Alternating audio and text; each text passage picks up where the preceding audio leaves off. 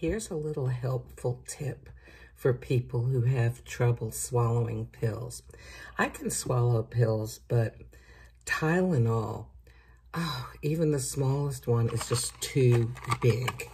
So I found this at the market, Tylenol Dissolves. They're 500 milligrams, which is actually extra strength Tylenol.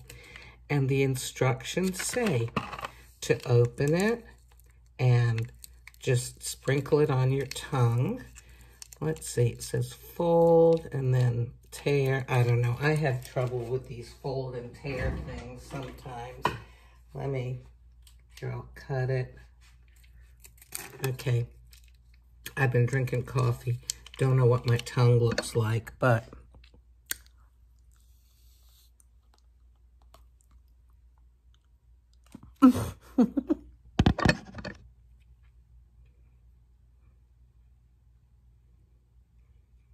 Mm. You know what it tastes like? You know, remember um, as kids, we used to buy that, those Lik-M-Aid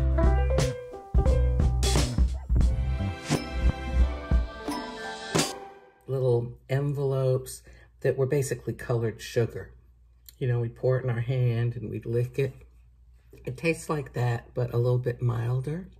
So this is a great way to uh, not have to swallow pills, but to still get your medicine.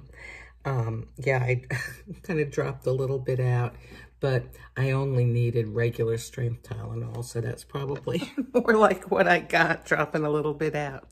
So I just wanted to share that with you because, you know, um, especially like if, if you're congested and stuff, sometimes, even if you're a good pill swallower, it can be a little hard to swallow something.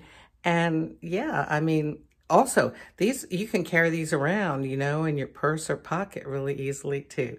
So I hope that that helps some people. Let me know.